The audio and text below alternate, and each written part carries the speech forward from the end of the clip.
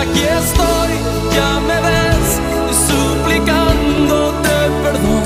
Y si en verdad te fallé, no fue esa mi intención.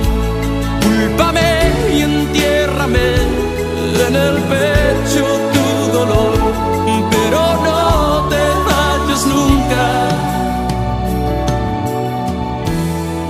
No me ignores, por favor.